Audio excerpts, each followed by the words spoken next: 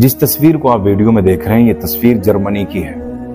और जर्मनी में एक ऐसी जगह है, जहाँ जर्मनी के लोगों के पास कुछ खाने का सामान ज़्यादा हो जाता है घर के अंदर तो वो यहाँ टांग जाते हैं। और जिनके पास खाने के लिए नहीं होता है, या जिनको ज़रूरत होती है तो वो यहाँ से ले जाते हैं। कितनी अच्छी सोच है वहाँ के लोगों की, कि जिनके पास ज़्यादा है, उनका कुछ बर्बाद नहीं होता, और जिनके पास नहीं होता है, वो भूखा नहीं सोता। काश ऐसी सोच हर देश के लोगों की हो जाए तो कोई भूखा नहीं सोए।